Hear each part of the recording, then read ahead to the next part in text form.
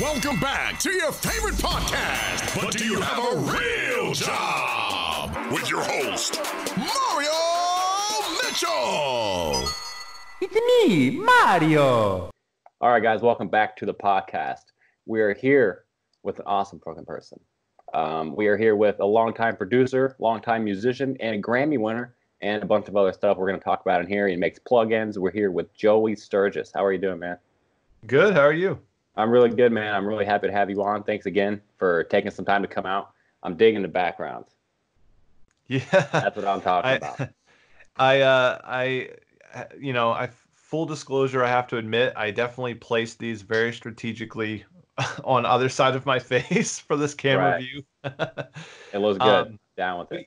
you know it's interesting though because it really is like um it's it's important now than ever uh to, on the internet to to show your credibility right like Mhm. because you know if you're out there on the internet and you're talking to people and you're teaching people how to do stuff and you're telling them what they should do giving them advice it's like okay yeah but like why should i take advice from you so I got these instant credibility things, you know, it's kind of like I know what I'm talking about. So we can get over that hump and then I can actually get into the information that's going to help you. Um, Right. So the you know, so it's kind of a, one of those things like just an instant objection smasher kind of thing. Right. Especially with social media, people want to see who the hell are you? What are you doing? Who do you work with that I know personally? You know, and that really sells it to you, especially in the music industry. You're producing bands, helping bands grow on Spotify and other platforms, and they're like, "Why should I trust you?" Like you were saying. So it's good that you've got you know those in the background. And if anybody Googles you, I had a couple people saying, you know, who's your next guest? I was, oh, this guy named Joey Sturgis, and they Google you, and they're like, holy shit, this guy's legit. Just from like the top of the page, they're like, yeah, this guy knows what he's talking about. So that's really good that you got that going on. Yeah, and you know, I like to look at it a little differently than I think it, you know, there's a vanity to it as well. Like I know when you see it, it's kind of like, okay, this guy is he? It looks kind of douchey in a way, and for lack of a better explanation, but but the reality of it is, is like this plaque right here represents helping over five thousand people learn how to mix uh, and and make records, and this Wow. plaque right here uh, represents, you know getting people through tons and tons of uh, personal depression and turmoil and all kinds of things that they're going through in their life and and this plaque also which is covered by my head is is for responsible for 100,000 uh, records sold and so this this is all I look at the results like why Mhm. why did we do all these things why are these things hanging on my wall well it's because of the results that we were able to get the people we were able to help the the the amazing art that we created that got people through uh, horrible times, um, the lives that we impacted. All of that stuff is more important to me than than the vanity of the whole thing. And if Mhm. you go and look into each one of these things that I'm, I guess, boasting about on my wall, you'll see uh, that it's all really positive uh, impact on the world, and and so that's why it's on my wall. It's not because I want to look like a um, I don't know, a douchebag. right. Yeah, I don't think it does at all, and I think it's good that you at least you know have them on the wall and you're proud of them. That's something to be proud of too. Not everybody has those plaques, you know. But one good thing, I mean, everybody that follows you knows, you know, what what's going on behind the scenes.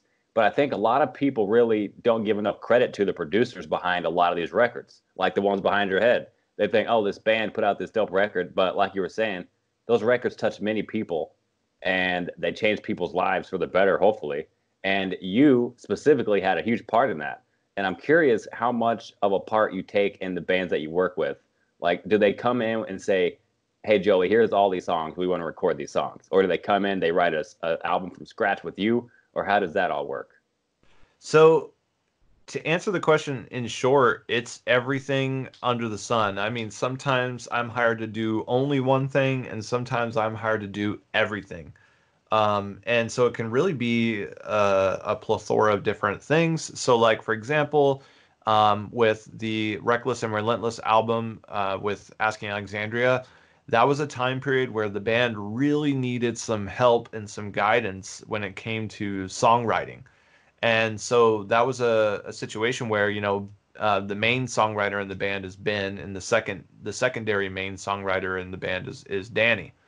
So Ben and I would sit down and we would be like, we need to write a song, and so some of those songs literally started with zero, like like completely blank ca- canvas. Um, someone somewhere, for example, is a song where I go, you guys need a four chord song that you can play in stadiums, and that was kind of how it began.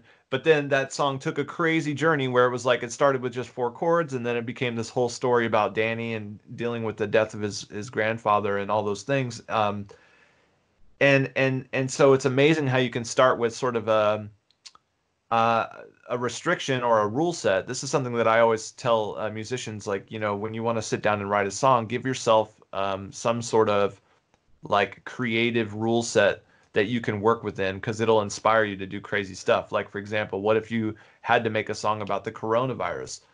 What would you do? What would you say? How would you make it uh, unique? How would you invoke curiosity? How would you help people get through emotions and things like that? And so sometimes those kind of creative barriers can help you actually, or not barriers, those those uh, creative limitations can help you uh, approach songwriting from a different place than you normally would.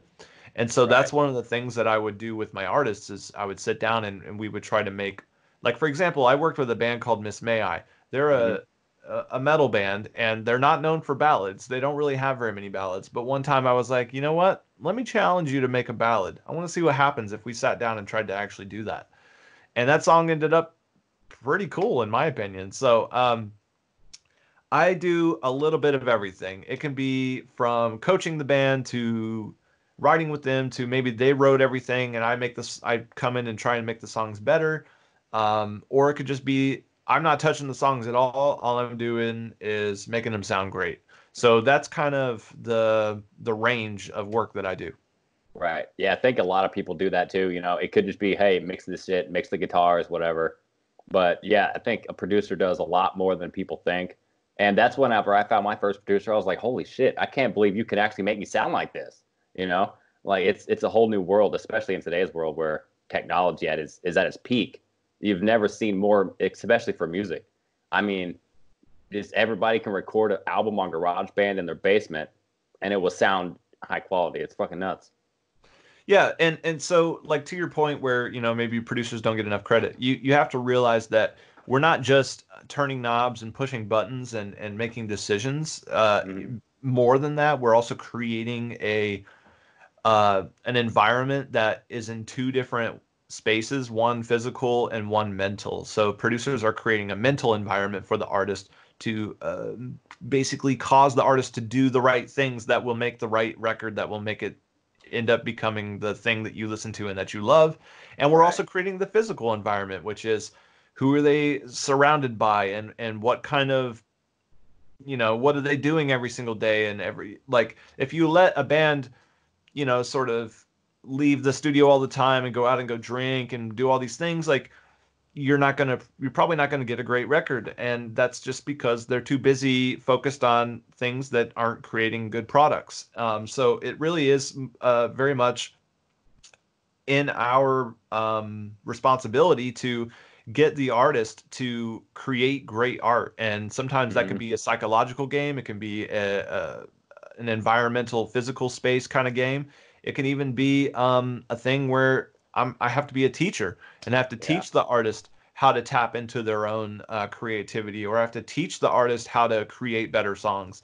And so it really the producer is really doing a lot more than i think most people realize and i understand it's always this it's always been this thing that's lived in a gray area and it still is. I mean it's it's not like uh, it's a perfect job description. You don't go to work every single day knowing exactly what you're going to do Right. you go to work going i might end up babysitting somebody today or i could make a hit song or i could end up having to spend the whole day teaching the drummer how to play to a click track you never know oh, exactly yeah. what you're going to get I I hear that quite a bit. I'm like, how do you people not know how to play to a click track? That just seems like the most basic tool and the most basic thing that every musician just does internally. They don't even think about it being click. They just try to keep the time. That's just weird to me that a recording artist doesn't know how to play to a click track. Yeah, and it happens. Happens all the time. It's it's actually mind-boggling. I've I've I've also worked with um, vocalists who are actually pretty good singers, hmm and singing is not always about technical ability. Singing singing's not always about, you know, oh, they can hit the notes and they can do these things. Sometimes it's about voice acting. And what I mean by that is like, you know, you take two let me take a two singers and compare them. Like for example, the singer from Flyleaf compared mm-hmm. to like the singer um let me think of one that's a little more plain. Like uh Alicia Keys so Alicia mm-hmm. Keys is not doing a lot of voice acting in her in her uh, performance with her voice, but someone like Flyleaf or Shakira, they're doing all kinds of crazy stuff with their voice uh, beyond right. just hitting notes. They're they're voice acting. So I've worked with vocalists who are good at the voice acting part, but horrible at the singing part. Like they can't hit notes or they're like tone deaf. I like say, you know, play this melody and I I, I grab a keyboard and I go do do do, and then they go do do do, and they like don't do the same right. thing that I said, and it's like mind boggling. But that the reality is that you have to realize that th- these people, they're artistic and they're creative, and so that's that means they don't always possess the technical skills. They don't always possess the um the performance part of of being like a being a professional former performer is definitely uh, something that is like a skill mm-hmm. and then being naturally talented and being naturally creative is like a gift and so i think you know when you see the superstars like ariana grande they kind of have both. Like they they right. are a very technical amazing performer. They can hit those notes. They can do the voice acting thing but they're also really creative and they're able to think of uh, uh, thank you next. Like these kind right. of big ideas that like can go really far. So that's that's a very rare breed. So um, a producer's job is to take like let's say somebody has the voice acting ability but not the performance ability then mm-hmm. maybe i have to find a way to uh, make that part shine and try to hide all the other stuff that they're not good at but not not in a malicious way it's it's really just to create great art um, right. Or it could be the other sense it, where maybe they're just an excellent performer, but they're they're just executing and it's too perfect. It's to a point where it doesn't deviate from what you would hear on a keyboard. You would you would have to say to them like, I need you to invoke more emotion, or I want you to sound more sad, or or tap into more of the lyrics and actually pay yeah. attention to what you're saying.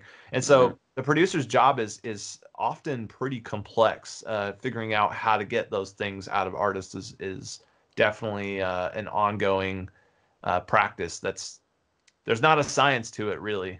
Yeah, it's weird. Like people just have that ear. Like people like you and other producers that are doing really high quality shit. You've got that ear, and you're like, I know what people are gonna want to hear and this is what people want to hear. This they don't want to hear this, and because you're a music listener too, it's not like you're just some random fucking dude doesn't know anything about music. You actively listen to music just like everybody else. But going back to the vocals, it seems like it would be a little easier to record somebody that's a little more plain, like me. I don't hit all the high notes. I'm not going all over the range. I'm just pretty much in in my zone. Than working with somebody that's all over the place because they might not hit all the notes every time and then by the time they get to the right notes, they're already running out of air. And how hard is that to deal with going from one of the better singers to one of the, you know, more plain singers? Well, it's diff. That's a really interesting um, dichotomy because when you're working with a plain singer, you're sort of just trying to get the right take, and it's not too difficult. Like, I mean, I guess the the difficulty comes in like me just waiting for you to get it right. And then mm-hmm. once you got it right, I'm like, oh, okay, we got it right. Let's go to the next thing. But when you're working with someone who's like extremely talented to like to the point where they could sing the song like 100 different ways, then the job becomes a completely different job because no longer am I just trying to get you to to execute all the right steps and then boom boom boom fill in the blanks. Okay, we got it. Right. Now I'm having to decide do I want take number one, two, five, seven, ten, or 15 because you just mm-hmm. gave me 15 completely different amazing things and I don't really know which one is the right one. so, right. And real quick before I don't want to interrupt and finish your thing, but you also have to figure out what people are going to want to inherently sing along to. Yeah. Yeah, and, sorry, and sometimes that that can be the, the deciding factor. Maybe when I'm listening to it, I'm going, "Wow, like you are really uh, showing off and, and demonstrating some amazing vocal ability, but I've got to stop you there because nobody's going to sing along to this thing when mm-hmm. you're Christina Aguilera all over the damn thing and, right. no one knows what the real melody is because you're just blah, blah. so right. It's it is a it's a balance and you have to find the right spots to let the artist uh, showcase their their ability and their skill but you also have to find the, the places where the audience can connect and follow along. Right. So would you rather work with a solo artist going in rather than a whole band? Because it seems like to me underoath is one of these big examples. I used to watch this documentary and they were talking about how every single member would need to sign off, essentially, not literally probably, but sign off on the song before they can move on. So, would it be harder for you personally to work with a full band, you know, five to eight members, or would it be easier to just work with one guy, hone in on that guy's talent or quality, and just go from there? So I I've been fortunate enough to work with over 500 different artists in my career and I've experienced basically every possible scenario from bands being controlled by the guitar player to the band having equal say to the band having two members who control most of everything but the other three members kind of have a little bit of a say like mm-hmm. all the different things right and for me um, I just got really good at dealing with all those different scenarios. And and one of the bands, which I don't want to throw them under the bus, but I'm sure they they've done enough interviews to where you can go track down all this information. It's all publicly out there. I'm not throwing them under the rug or anything here. Right. Uh, the Devil Wears Prada was pretty uh, headstrong in the sense that every single person had a, a, a different perspective for what the song was supposed to, what each song was supposed to be, how it was supposed to come out. And mm-hmm. you over time when you work with these artists over and over again, you start to learn their tendencies. You start to learn, okay, well Chris is definitely going to want the riff to stand out. Um, James is going to want the keys to be really loud because he's tired. He's tired of being buried by the band. Yeah. Uh, Mike is going to want the song to sound super heavy. Jeremy uh, is going to care a lot about his lead parts because he doesn't get a lot of them. And so you kind of like learn all these different little things and you figure out as a producer you figure out how do i not only make the song great and accomplish all the stuff that the song needs to do to be a great product but how do i also give give all the different band members what they're looking for what they're trying to get out of the song? And yeah sometimes you're going to have some compromises. Sometimes you're going to have to say jeremy i know you really wanted that lead but it's so busy right here. We got to take it out because there's just too much stuff going on. But yeah we'll make it up on a different song. Or or Mike, I know you really wanted this breakdown to be super brutal, but we need to put some keys in here to uh, build up to the next part um, and and not make it so uh, you know juxtaposition from part to part. And there's yeah. there's different thing there's different ways to approach all of this, um, but I've I've dealt with it all, and I think the biggest thing that you have to do as a producer when you're in this uh, position is you have to remind yourself every single day of two different things. Number one, you have to remind yourself that you're on the same team and everybody's trying to make a great record. So when somebody makes a suggestion or when somebody says, I don't like that part, it's because in their mind it makes the record the re- the best record that it can be and it makes and it's pushing the whole team towards the goal mm-hmm. and so the the reality of that uh, realization is that you have to you have to sometimes make compromises and you have to sometimes make sacrifices and you have to think of it as a whole team uh, participation. Right. The second thing that you got to remind yourself every single day as a producer is that you're just the producer. At the end of the day, this band has to take these songs on the road, play them every night, be satisfied with what they did, mm-hmm. sell it to their fans. They've got to stand behind this work for the rest of their lives. So if you're trying to push something on them and you're and you you really do think like, man, this is the thing that's going to make this record a lot better, but the band doesn't want to do it and you're pushing them and you're pushing them, you got to remind yourself it's not yours. The you're just the producer. It's not your songs. It's not your art. And right. yeah, maybe somewhere on paper you have a small percentage of it, but the reality is they've got to go out there and play that song every single night to their fans and sing every single word over and over and over again. So I I really encourage artists to to do what they want to do, to do what they have to do and what they what they believe in doing. And mm-hmm. so sometimes that means me taking a back seat. Right. And it's crazy how you even sleep at night with all these decisions rolling on you because not only does a band have to listen to it, you got all the fans that are waiting for it too. And you have to be able to put that music in their ear and they're like, okay, I fucking love this shit and it sounds big and heavy or whatever band you're working with, it's got to sound, you know, just like that. And I think a producer does a really good job of honing in on the band sound. Because sometimes the band doesn't even know what they want to sound like. They just write a bunch of songs. They're like, yo, make this sound like an album. You're like, dude, you got 10 different songs that sound totally different.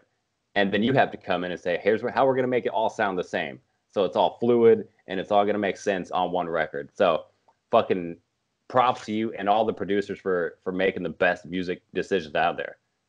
Um, yeah, one of my uh, one of my techniques that I use is um, I will I'll hit I'll sit down and I'll play a song, and it'll let let's say it's a demo from a band. Mm-hmm. And uh, I'll listen to the demo and I'll just pretend like if something cool doesn't happen like every five to 10 seconds, that the song starts to become more boring for me.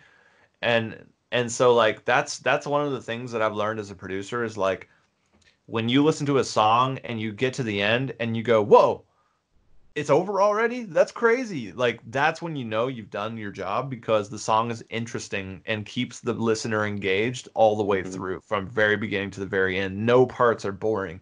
And yeah. that's the hardest thing to do.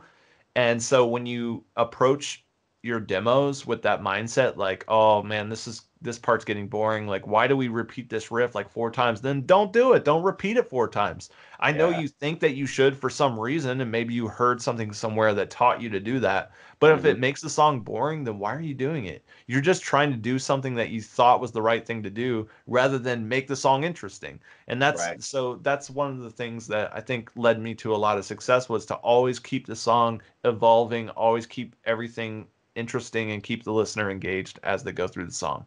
Right. And I think one good thing about producers and people in general, but it's like so many bands hear another band, especially young bands, you know, 15 to 21, they hear they hear a band and they're like, "Holy shit, I want to sound like that."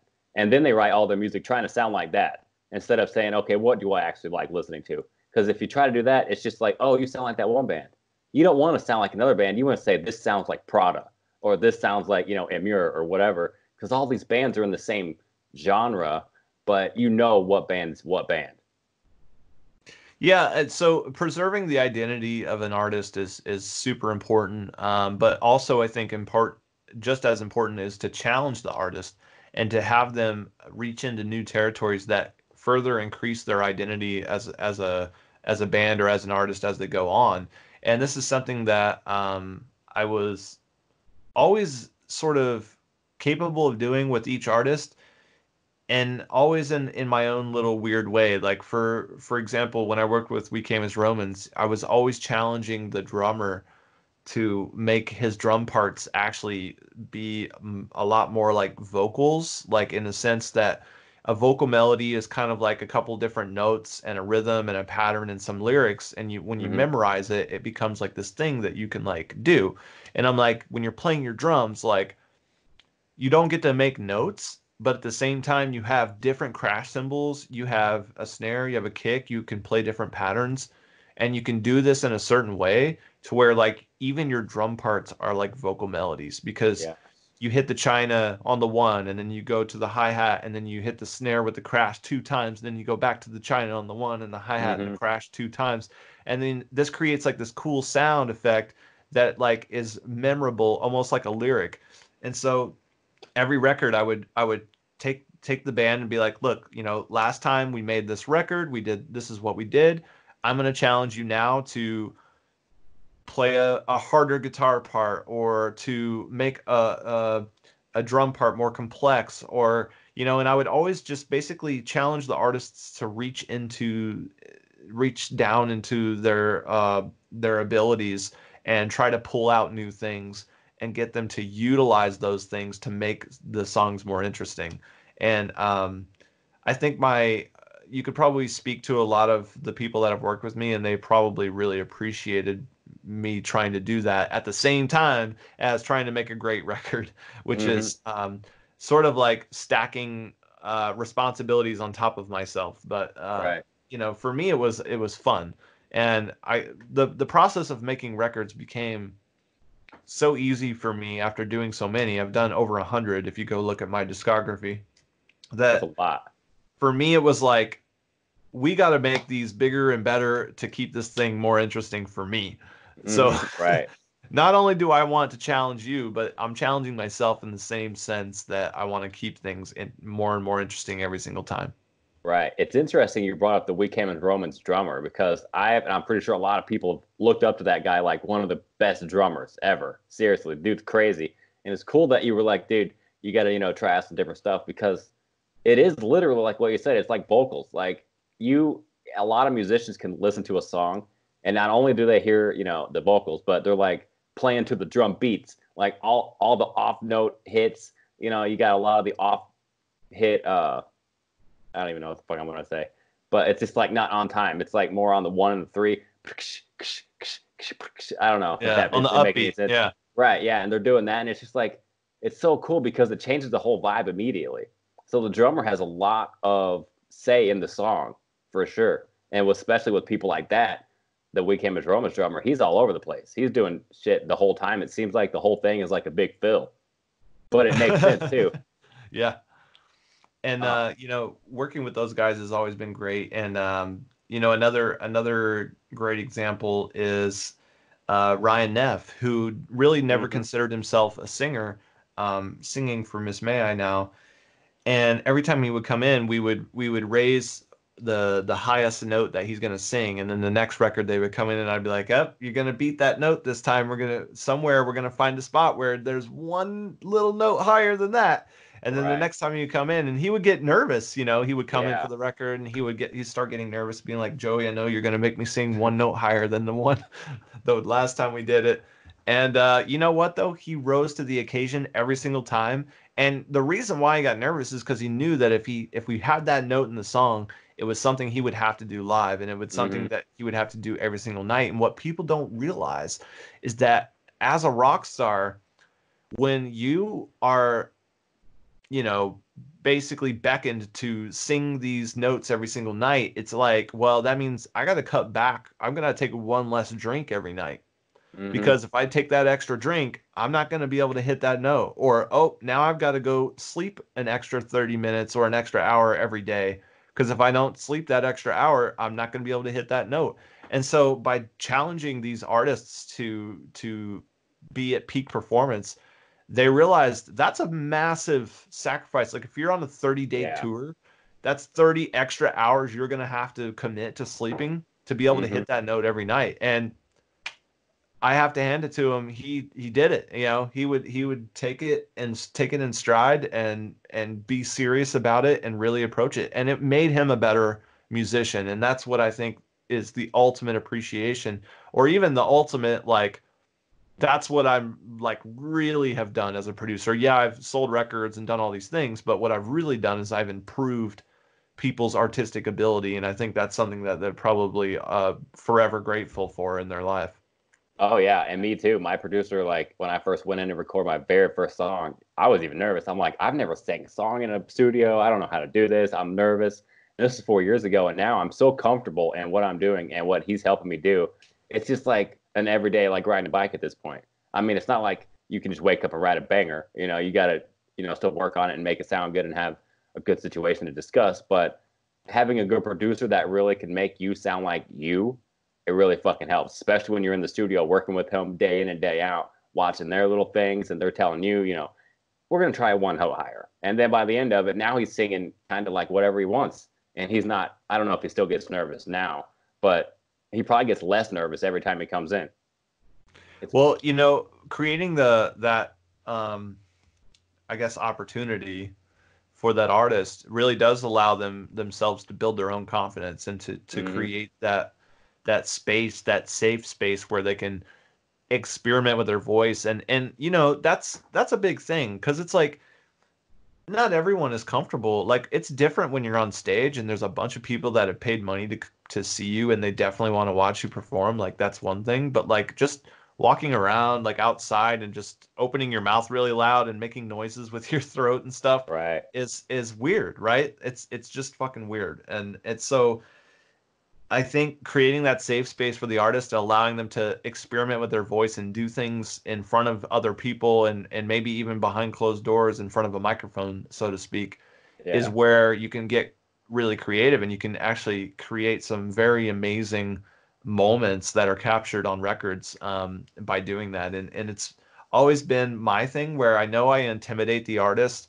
I, I work with a lot of like I I'm working with a, a, a band right now and I know the singer tells me straight up like you intimidate me like I'm nervous to sing this song and I'm I'm always I'm always like yeah I understand where you're coming from but you have nothing to be nervous about because all I'm going to do is bring out the best in you. And yeah. sometimes that like mindset, that mentality with the the session is all you really need to like break the ice and then get the best that you can get out of the artist and and I've been really good at that cuz I'm I'm pretty calm in nature like I'm I don't get super hyper and I whenever I have an idea that I want to like um, introduce, I always come up with a really logical reason for why you know I think it's a good idea, and so I bring my mm-hmm. ideas to the table without very much emotion. I bring them to the table with with you know logic and reason, and and so I think that makes a lot of people comfortable. I think it, it allows us to really explore like um, a lot of things in the studio, and and that's I think what I'm good at as a producer is being able to right. do that with artists. Yeah, that's awesome. Now you you've got these big records on the wall. You got your name on a lot of plaques and on a lot of music, but you weren't always the popular. You know, you didn't start off writing fucking records for Asking Alexandria. How long did it take you from the start of you saying I want to be a producer? How long did it take you from that point to be able to say, "Holy shit, I'm actually making a full time living off this"? That's a great question. Um, well, it it did unfold organically. Uh, and I've told the story um, several different times, but to so, sort of break it down in a in a uh, digestible um, um, storyline timeline, I I essentially worked at a computer shop. I played drums in a band at the same time. We made a demo, put it on MySpace. It blew up. I don't know why, but it just did people wanted to know where we recorded. So we told them, well, we didn't record anywhere. We recorded it ourselves. And in fact, it was our drummer that, you know, did all this stuff. His name mm-hmm. is Joey. So these people are like, well, I want to work with that guy. And I, I don't care who he is or what he's done or where he's at. Like, right. just tell me where to drive my car so that I can work with him. That's how crazy the demand was. But at that time, I had nothing. I was sleeping on a couch. I was trying to live on my own. I, I could live with my parents, but I didn't want to. So I was sleeping on this couch in my in my friend's garage, which he mm-hmm. turned into like a makeshift recording studio. And the timeline breaks down like this. I'm working the job, I'm recording bands on the weekend. I figure out I can actually make more money recording bands full time if I eliminated my job, which I wasn't getting paid much for anyway. So I quit the job, I record full time and I'm working out of my friend's studio, so I own none of this stuff. Like this is not my equipment, it's not my space. All right. I get kicked out of that space. And at the time I had a manager and uh, I'm fast forwarding like years and years. So I, mm-hmm. you know, the the answer to the question is probably about 5 years, but in this time span, uh, you know, all these different things happened to me where I had to figure out how to get ahead. I, I when I lost the space, I'm like, well, I got to buy my own stuff and I got to mm-hmm. get my own space. So I bought a house. I moved in there, started bands started coming to the house instead of the garage that I was living in. And so all these things started stacking up. Now, this is the thing that's like kind of crazy about the answer to the question because to me it never looked like that there was success. You know, I was I was looking at things like, oh, look at the Slipknot record. It just came out and it went platinum. Or, oh, look at the Korn, you know, look at what Korn is doing over here. Look at what this band. So I'm looking at these different like mega artists, but at the mm-hmm. time in my head, it didn't seem, you know, it wasn't like, oh, well, they're mega artists. That's why they're successful. It was kind of just like, well, they have the better record, they have the bigger audience.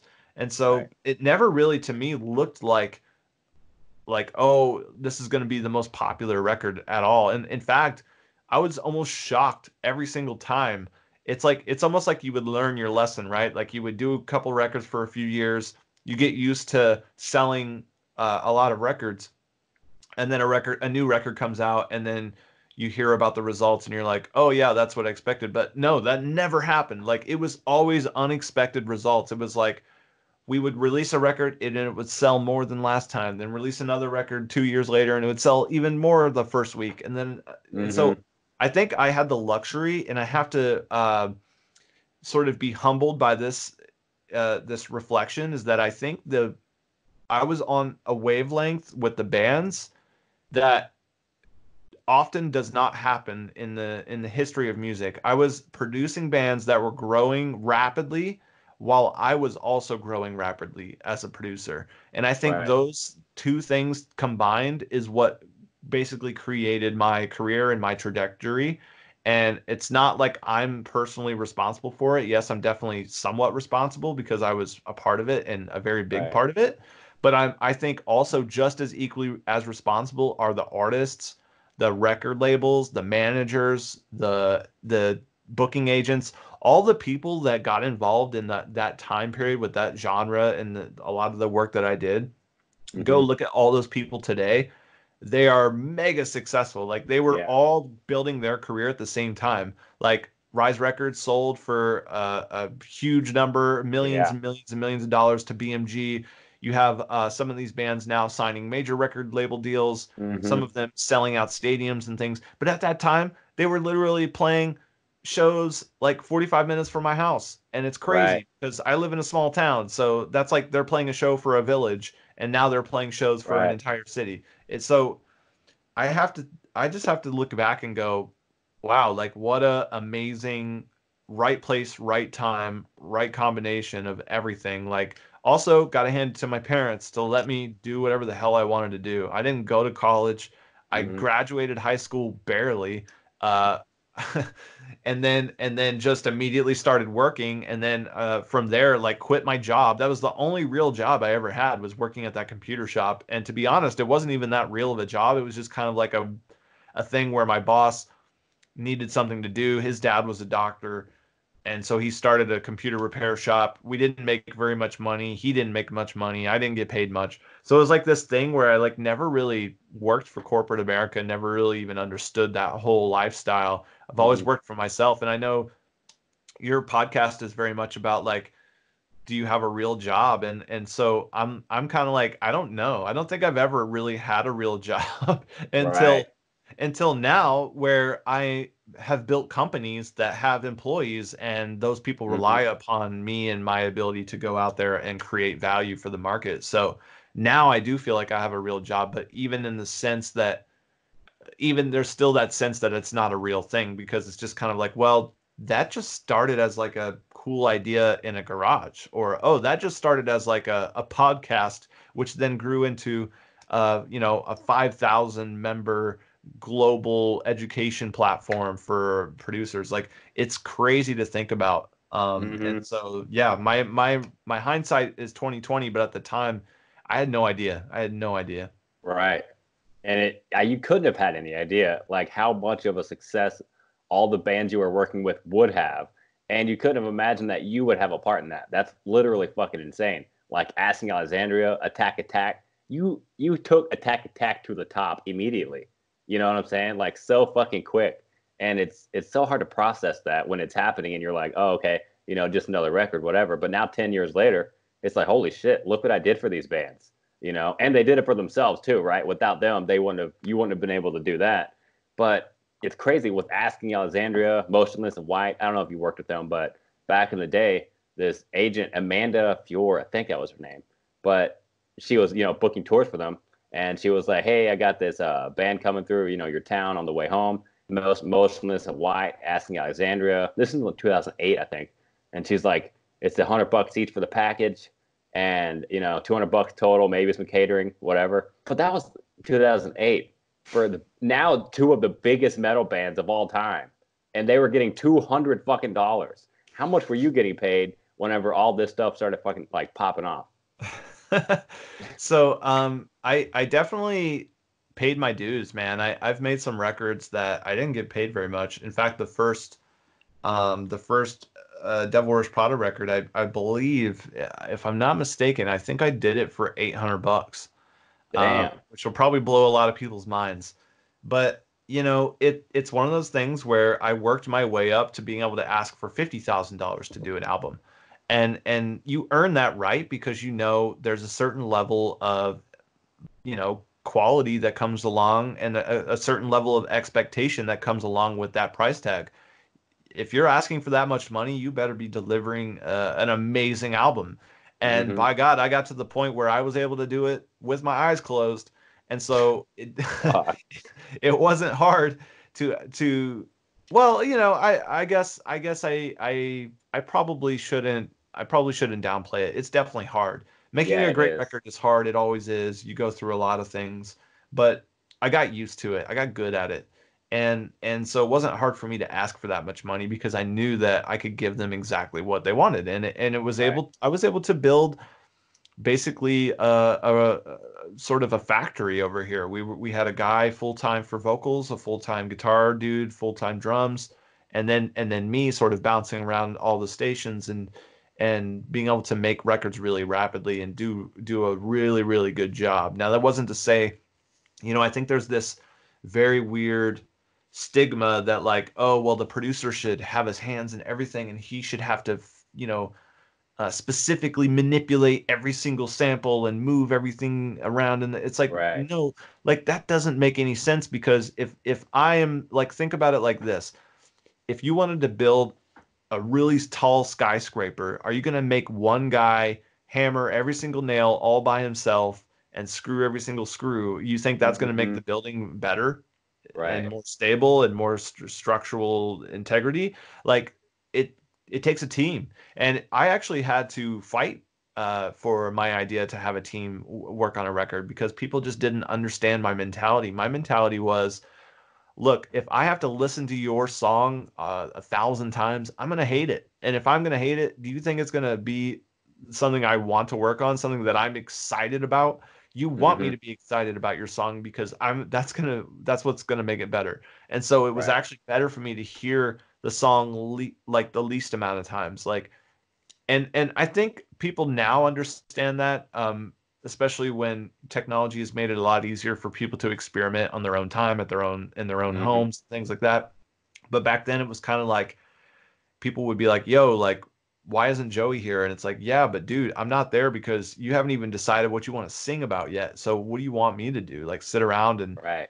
and wait for you to figure it out? Like i, I i'm going to go over here and work on something else and and multitask while you're doing that so that we can move this thing along faster and and create a better Right. product and all these things. So uh yeah it's it's i think you know i've i've been blessed to to work on a lot of different stuff in a lot of different capacities and i think Mhm. what I ultimately learned my favorite thing is is is helping an artist reach that point where they're able to take off and do whatever it is that they want to do. So if you look back in my history, that's kind of what I've done with a lot of my bigger artists, like the Asking Alexandria of Mice and Men, We Came as Romans, Attack Attack. I helped them along and I and I helped build them up as artists and I built up their their uh their material and got them to the point where they were like, okay, now we know how this works. Now we can work with this guy, or we can go back to Joey if we want to, or we can Mhm. experiment and do this thing. It gave them the the platform to the launch pad essentially to jump off of, and Right. uh, very proud of that. I would be too. I mean, fuck. Literally millions of people have heard your music. That's insane. How hard is it? Like, what's the hardest part about being a producer? And personally for you? Um, it's definitely the it, it that changes over time for sure, but I I would say these days the hardest part of being a producer is the uh the probably the time it it takes a long time to to you have to put in a lot of time and that's something I don't have a lot of anymore because of uh all the things that I've gotten involved with and and all of the responsibilities that I have with my Mhm. companies and things like that. So that not having enough time is is definitely you know that's that's the hardest part. Um and now the other hard part too is being able to recognize when something is right it has changed a lot back in the day like you could essentially listen to an artist and sort of be like oh i know what we need to do but now I think uh, music listeners are a lot more open minded, and there's a lot more different sort of crossbreeding of genres out there. Mm-hmm. So now, like the right answer is not always as clear uh, as I think it used to be. So yeah. sometimes that can be challenging in, in in and of itself. Is the fact that you can take uh, you know, a metal artist and give them a pop sound, or you can take a pop artist and give them a, a metal sound, and it can be amazing. Like look at Poppy. Mm-hmm. You know, Poppy went from from straight radio pop to like being signed by Sumerian and playing breakdowns. Right. It's the most crazy. metal label out there. so I think now the difficulty is is the time, right? And then being able to figure out the direction because the direction now the options for the direction, the options for the vision is so wide that like mm-hmm. it's it's almost like throwing a dart at a dartboard. You're just sort of like, I don't know, like we could go a lot of different ways. So right. yeah, that's that's tough. And those Travis Scott music videos now, the comments are just great. They're like, producer or director, Travis, what kind of video effects do you want? Travis, yes. You know, because that's how many options there are now. You can just do anything you want. It's fucking insane. Um, I want to wrap this up in a minute. I'm actually mad because I had a lot of stuff I wanted to talk about with the plugins. But so I did a podcast recently with a DoorDash YouTuber, and around 55 minutes, it just like randomly cut off. And I was like, what the hell? And then it didn't end up saving to the thing. I was like, what the hell? I just did the whole podcast. Now I got to redo it later on in the, in the thing. So I don't want to run past time with the Skype and test its uh, patience with me. but okay next time I'll bring, I'll bring you on like you know at the end of the year at some point. We'll talk about your plugins. I really wanted to get into that because I'm more interested in knowing more about that and how people can use those plugins to benefit their own music if they produce themselves. Even if they go into a, a, a another producer, they could benefit from those plugins. Um, two more questions. Um, one, I really wanted to ask you a quick answer if you wouldn't mind, just about the mixing and mastering. I'm curious about. Do you do your mixing and mastering in house? And if you don't do it, why don't you? So I I do, and one of the the things like I I am one of the kind of people who want want to basically control as much of the record as possible because I know what makes it good. I mm-hmm. know how to record the drums. I know how to edit them. I know how to mix them. I know exactly what I want to do every single little step of the of the recording process. I know how I want it to be and I know how to approach it. So I want to be in control of those things because if I hand off control of one of those parts, it's now up in the air if it's going to be done correctly or if it's going to be done in the best way that I that I know is possible. So um, I mix all my own stuff. I've almost never I think there was only one time. Yeah, there was only one time that I am uh, immediately aware of right now in my mind of when I did not mix a record that I produced and it was one of the asking records and it was simply a scheduling problem. Mm. I, I had a band in the studio recording, I had another band that I was mixing, and uh, another band scheduled right afterwards with another record mixed as well at the same exact time. So I was like, there is nothing I can do unless I want to take all this money that's in my bank account and just give it back to all these people just to mix your record, which right. is really not smart for me. And so I had to be like, look, guys, I cannot do it unless you can wait two months. Mm-hmm. Then I can do it, and it will be awesome. I promise you, the mix will be the most amazing mix you've ever heard in your life. In fact, I've already mixed one of the songs, so you can hear uh, that I'm putting my money where my mouth is. Mm-hmm. But I just don't have the time to do the rest of the songs right now. And they were like, "We love the mix, but we can't wait. So give us the files." So I had to give them the files, and then they ended up mixing with someone else. So it was only one time. So right the the big reason for me is I want to have the control. I know exactly what went into the record, how we made it, why we did what we did, and so then I'm going to know, okay, this is what we need to do to make it sound great. And so right. being in control is the best position for me. Yeah. Yeah, I think it's good too. I, I've always wondered why people do that. It does make sense. Oh, this person specifically knows how to do this and that. I want to do that. But yeah, I think it's good if the producer himself does it. My producer does it. It's just like makes it easier on everybody. He knows what he already did and what he can do to make it sound perfect. So I think that's good. Um, last two questions I wanted to ask. I guess one of them we already covered. Your first job was uh, at the computer shop. You said, I think. Yeah, I mean, I can, you know, we can go back even further, and I, I think I was like, you know, I was a paper boy for a little while, Mm, I think everybody sort of has one of those early jobs. Um, yeah. where you you know you shoveled snow or you detasseled Yep. corn or you delivered newspapers. I had that, but I didn't like that wasn't a real like actual like oh I'm employed and I you know I get like a W two and blah blah blah blah Right. blah. So the real job, the only real job I had was the computer shop and and the way that I got it was through vocational school. So the last 2 years of my high school I enrolled in a vocational which means you go to like another school like for the half of the day where you get focused on um, whatever it is that your sort of career path is so for me it was Mhm. computers so i was working on A+ certification um, and then I, I rose to the top of my class which gave me the um it, it, it gives you the point where they go and, and they like uh, pitch you for like jobs and so then i Mm. landed the job and then basically my last two years of high school i would go to school in the morning at like 8 o'clock i would get out at lunchtime at like 11 or 12 and i would go to work from like Yep.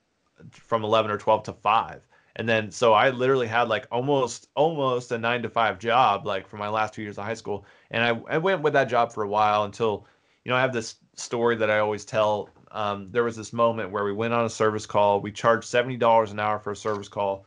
I'm on the call by myself which is unusual. So it it didn't always irk me. And this will make sense in a minute but this time it irked me because I was the only person there, and I and I remember thinking to myself, I've been here for an hour. I did all the work. I did it by myself. Nobody else was here with me, and I'm handing the lady the invoice, and the invoice says seventy dollars. And in that moment, I realized I'm only getting paid six bucks right now, and my boss is making sixty Yeah. whatever dollars, and I'm like.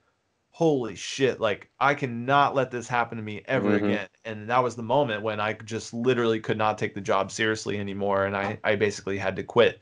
And and that's when the recording business picked up. Yeah, uh, uh, fucking six dollars. I remember those days. I, my first job was like five fifty an hour. I was like, what the fuck? I was like, hell yeah, I'm rich. I'm in high school. I got some money. Um, but yeah, the, the podcast name is "But Do You Have a Real Job?" Because you probably got it too when you first started producing. Maybe not your parents, but just people that know you. Like, yeah, yeah, I know that's what you do, but like, what's your real job? You know, like, what's your nine to five? Where do you go to work? In your opinion, what would a real job be? Uh like just for anybody or for me? It is a general question for anybody, like a real job. A real job is when you provide a, some sort of value that people depend on. I I think that's what defines a real job because without you there, the value that you're bringing goes away, and now people either have a lower quality of life or they suffer in some sort of way or there's a pain that's not being solved because you're not there. That's when you have a real job. So there's different layers of that, right? Like I, I guess you could say, well, my manager who owns a McDonald's franchise, she's going to be experiencing a lot of pain because I'm not there to flip those burgers for her. But is that really a real job? Like, are you really feeding the hungry? Mhm. Um, so I think like there's definitely tiers to it, and I and I think uh, the more responsibility you have, the more money you're going to earn because that's just the way the world works.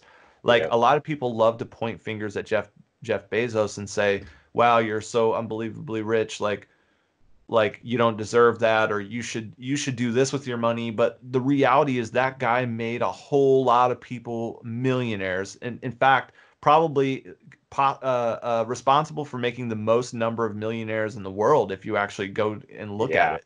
Like all the stock investors who invested early they're all now millionaires. All the people who have six figure jobs like those are people who are going to make in a 10 year time period make millions of dollars. Like we're just working at a at a place. He's provided jobs. He's changed education. He's he's changing the the entire world with one Mhm. company. It's mind blowing. So I think people like that have real real jobs. Like you want to get down to it. Like Jeff Bezos has a real real Yeah. job. And it's crazy. A lot of people, I mean, Walmart too, Amazon, these people, when they first started, they didn't have a million fucking customers. They didn't have one customer. They didn't have any customers. They started in a garage most of the time. It's some shitty room. They're like, okay, how am I going to build this? People laugh at them. Haha, Amazon, pff, fucking idiot. That is never going to work. And then it's one of the, it is the biggest company in the world. And now people are like, give me that money. He was like, "Fuck you, bitch! You weren't even around when I was literally grinding, and now you're like, oh, why are you so rich? Because I worked my ass off." And yeah, I think people like that deserve all the things that they get, and they help a lot of people. They make people rich. They pay taxes. They, you know, it's just crazy how much influence they have. But yeah, people hate them. It's like they don't hate you till you're rich, then they really hate you. Then they want that I money. I think when you focus on you focus on the uh, the reality of that it's it's a trade, not a transaction. Mm-hmm. That's when I think it, your mind can open up and and learn how to do this correctly and become successful. Because the way I look at it is, the more value I can pack into what I'm doing, the more impact I can create on the person that that is relying on that from me. And if I can increase that impact, I can get them closer to either their result or their goal.